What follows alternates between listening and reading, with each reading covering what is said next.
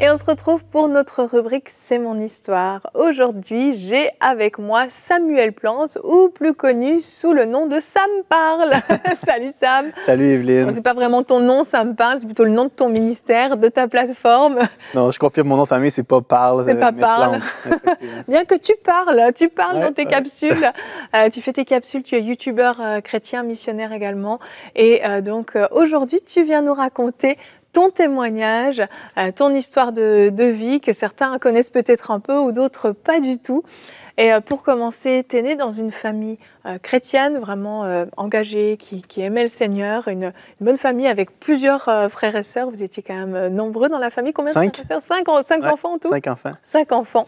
Et tu étais appelé comme le petit ange Samuel, vraiment un enfant euh, idéal jusqu'à l'âge de 11 ans, c'est ça? Oui, oui. J'avais même euh, une coupe champignon, des beaux cheveux blonds dans le oh, temps, donc ça rajoutait. Avec presque une auréole, en fait. Quasiment, quasiment. les professeurs disaient, professeurs d'école disaient à mes parents, si on pouvait le cloner, votre gars, nos classes iraient beaucoup mieux. Wow! Donc, euh, pour vrai, à part collectionner des roches, courir dans ma cour, puis jouer au Lego, il n'y avait pas grand-chose qui se passait dans mon monde. L'enfant modèle. Ouais, c'est ça.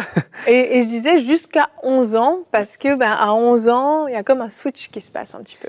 Oui, à 11 ans, euh, j'arrive dans, la cour d'école avec les amis et je, réalise la, puissance, le, pouvoir que tu peux avoir à, piler sur les autres, à intimider, à manipuler. Euh, je commence, je prends une poussée de croissance à l'âge de 13 ans et je, ne suis pas très grand, là, mais je mesurais 5 pieds 9 à 13 ans. Donc, mm. euh, tout d'un coup, je réalisais comment je pouvais utiliser mon physique pour devenir quelqu'un, comment je mm. pouvais être euh, même parfois violent ou agressif. Et c'est comme s'il y avait tout un nouveau monde qui s'ouvrait à moi. J'avais été dans un monde protégé pendant mm-hmm. plusieurs années. Et là, je réalisais tout ce, pouvoir-là qu'on pouvait avoir à utiliser notre langue, utiliser notre force physique pour devenir quelqu'un. Et euh, je commence vraiment à, me laisser aller là-dedans. J'aime ça.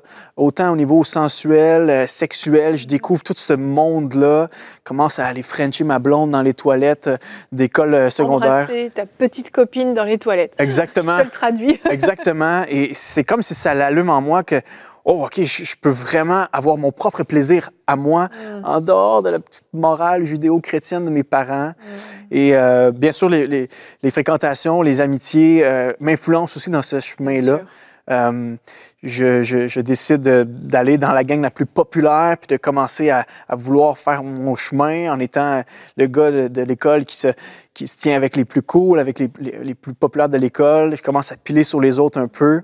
Et rapidement, euh, je deviens aliéné par cette forme de vie-là, centrée sur soi, sur, sur, l'orgueil. Et, plus que ça, il y a vraiment une, une forme d'agressivité, de colère qui surgit en moi. Mmh. Euh, vient de, de, rien de, de ce que tu as vécu. Non, vraiment qui vient juste de mon petit cœur pécheur qui se mm. manifestait alors. Euh, commence à être colérique à l'école comme à la maison. Je me rappelle à un moment donné d'avoir étampé un gars dans le casier, il avait insulté ma mère à l'époque, puis juste l'étamper d'une agressivité. Comme, même moi-même, après l'événement, je me, je me demandais qui c'est qui m'était pris, qu'est-ce qui, s'était passé en moi. Mm-hmm. Exact.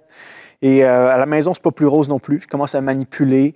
Euh, vraiment, je suis comme un, un homme en déroute qui veut plus rien savoir de qu'est-ce que les parents, qu'est-ce que le système a à me dire? Je veux vivre ma vie, je veux devenir quelqu'un, mais par mes propres moyens, par mes propres passions. Euh, je décide de, me laisser aller et euh, ça mène à, un gars qui est vraiment de moins en moins heureux. Euh, mm-hmm. à la maison, j'étais le, trouble fête, j'étais le mouton noir de la maison. Comment tes, tes frères et sœurs, eux, étaient plutôt tranquilles, plutôt sages? Oui, oui, quand même. Bon, il y avait leur, ils étaient imparfaits aussi, il y avait leurs défauts, mais c'était quand même moi qui brassais de 11 ans à 16 ans. Mm. C'est là que j'ai commencé à à, me moquer de mes sœurs, à être violent avec mon petit frère, à désobéir à mes parents, à faire à ma tête vraiment. Et euh, ce, qui, ce qui me fracassait à la maison, c'est que je recevais toujours beaucoup de grâce, de pardon et d'amour quand j'agissais comme ça. À l'école, c'était tu agis mal, tu te fais tout de suite punir, tu te fais toujours tout de suite mettre en, retenue. Mais à la maison, je recevais une forme d'amour qui, à chaque fois, ça venait me titiller. Pourquoi, pourquoi les autres, ils m'aiment? Pourquoi ils sont comme ça avec moi? Alors que moi, je voulais juste vivre dans mon monde. Je voulais juste être le, king, le roi de ma vie. Mm-hmm. Euh, aller avec les filles que je voulais, faire les actions que je voulais, commencer à fumer un peu. C'était ma vie à moi. Mais en fin de compte, j'étais quand même très malheureux parce que je me rappelle que je rentrais dans ma chambre le soir, puis euh, euh, je pleurais, puis je me disais, mon Dieu, je suis donc bien dégueulasse. Qu'est-ce que je suis en train de faire avec ma vie? Je suis, violent, je suis intimidateur, je suis moqueur, j'ai l'air du gars sportif, cool, qui s'habille bien, puis tout ça, mais au fond, je suis malheureux.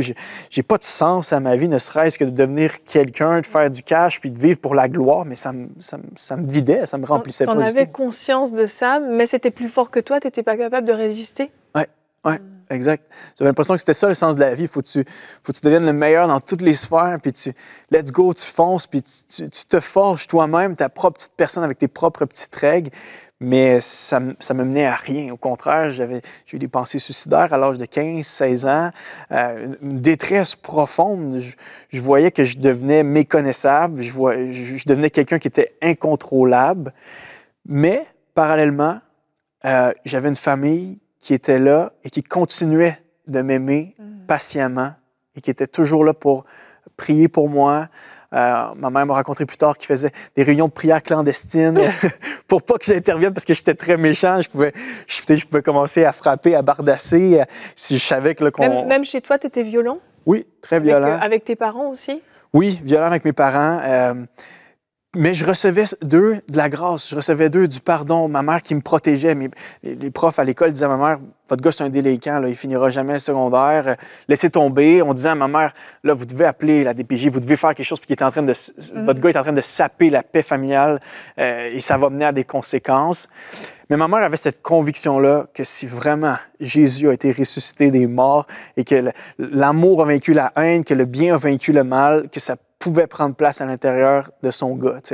Mais moi, à ce temps-là, tu ne me parles pas de Jésus.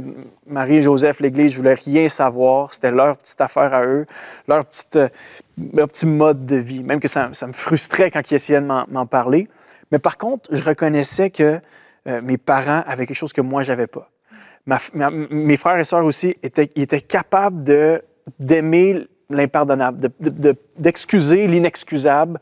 Et ils allaient plus loin que juste l'offense, juste la faute que je pouvais leur faire. Et ça, ça venait, ça venait faire son chemin à l'intérieur de moi. Je, fuguais, je m'enfuyais de la maison, puis j'avais mon père en arrière qui courait en arrière de moi. Puis bon, je trouvais ça drôle parce qu'il ne me rattrapait pas. rattrapait pas. Mais je voyais l'amour de mon père. Pourquoi, pourquoi ils me poursuivent comme ça, tu sais? Pourquoi ils m'offrent toujours ce que je mérite pas? Euh, et, ça, ça venait questionner mon cœur. Jusqu'à l'ultime situation avec ma mère, à l'âge de 16 ans, je voulais un scooter et ma mère ne voulait pas. Elle savait que si je fuguais assez vite à pied, si elle me donnait un scooter, c'était fini, elle perdait son gars. Et euh, commence à vraiment être mécontent de, cette décision-là de mes parents, euh, très, très agressif, violent. Et je me rappelle un jour, mon père était parti travailler, nous, on était à la maison. Et d'un élan de colère, alors que ma mère me refuse mon scooter, je, pousse ma mère. Mm. Je complètement insensé. C'est elle qui m'a donné la vie, c'est elle qui m'a éduqué pousse ma mère sur le comptoir, puis elle se pète deux côtes sur le comptoir, elle se casse deux côtes, part en ambulance, de la misère à respirer. là, moi, je suis là, j'ai 16 ans. Là, j'étais au pic de ma rébellion. Mais j'ai quand même un instant de lucidité, puis je me dis, hey, ça, c'est ma mère. Je la pousse sur le comptoir et j'étais en train de devenir un, homme qui est incapable de se maîtriser, qui est incapable de juste respecter ma propre mère. Et plus que ça, je suis violent avec elle. Et je me pose la question, est-ce que vraiment c'est dans ce chemin-là que je veux continuer? L'homme livré à lui-même, avec ses propres passions. Ma mère revient quelques heures après, ou quelques je ne me rappelle plus exactement de la, chronologie des événements, mais elle revient à la maison. Et là, je suis dans ma chambre. J'étais toujours en train de chercher ce qui me plaisait. J'étais toujours isolé. Mais là, je me dis, bon, je pense que je dois des, excuses à ma mère. Je monte à l'étage. Et euh, alors que j'ouvre la porte de la chambre, je me rappelle comme si c'était hier, j'entends ma mère qui est là qui a de la misère à respirer. Et moi, je suis là et j'ai même pas le temps d'ouvrir la bouche pour m'excuser que ma mère me dit Sam, je t'aime. Moi, si je meurs, je sais où je m'en vais. Mais toi, je pense qu'il serait temps que tu fasses quelque chose avec ta vie. Une phrase qui m'a complètement fracassé. Sam, je t'aime, je te pardonne.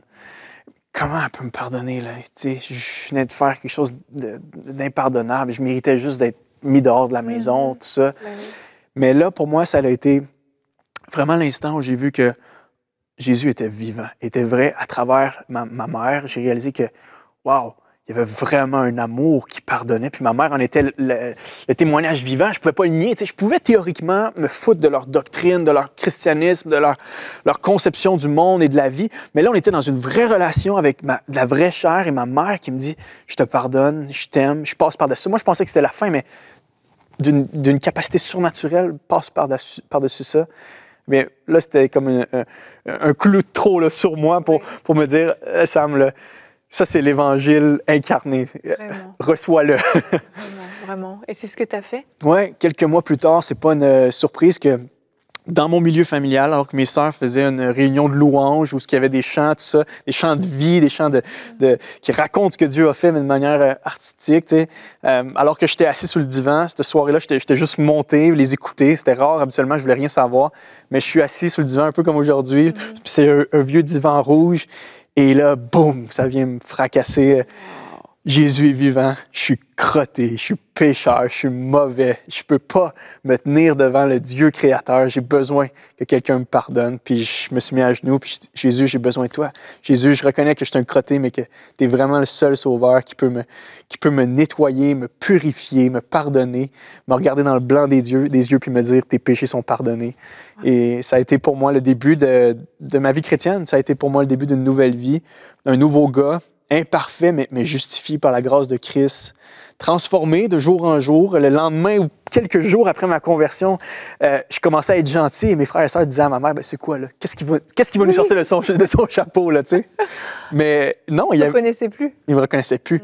Je sais pas parfait, mais il y avait un brin de changement qui était inexplicable, ne serait-ce que Jésus avait agi un cœur venait d'être transformé, un cœur de pierre venait d'être transformé en un cœur de chair. J'étais capable d'aimer, capable de sortir de moi-même. Et aujourd'hui, 14 ans, 15 ans plus tard, je suis là, je suis marié, j'ai une femme, j'ai deux enfants. Le gars qui voulait rien savoir d'entendre parler de Jésus, je passe ma vie à parler de Jésus.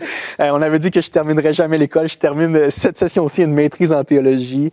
Euh, tout le paradoxe, un renversement complet Jésus a littéralement changé ma vie. Aujourd'hui, si Jésus n'était pas entré dans ma vie, je serais soit en prison, je serais soit mort, ou je serais soit dans une grosse baraque avec une grosse position, un gros, une grosse carrière, mais je serais triste, je serais, je serais malheureux dans mon cœur. Vraiment. Jésus a vraiment transformé ma vie de A à Z c'est mon histoire. Vraiment, merci Sam, vraiment, c'est tellement touchant et je peux que penser à ta maman, euh, à ce qu'elle a pu ressentir quand tu as décidé de, donner ta vie au Seigneur et cette foi qu'elle a manifestée avec ton père, de toujours croire pour plus. Et aujourd'hui, bah, comme tu le dis, oui, tu, parles de Jésus partout. Euh, tu, non seulement tu as, été pasteur de jeunesse, mais tu as eu cet appel aussi pour, euh, pour faire ces, capsules où, tu témoignes vraiment de, Jésus-Christ de manière euh, innovante, drôle, mais aussi touchante. Et vraiment, bah, oui, ton histoire est magnifique et, c'est ce que Dieu a, fait dans ta vie. Donc merci beaucoup d'avoir eu le courage de venir nous partager ton témoignage. Ça m'a fait plaisir. Merci.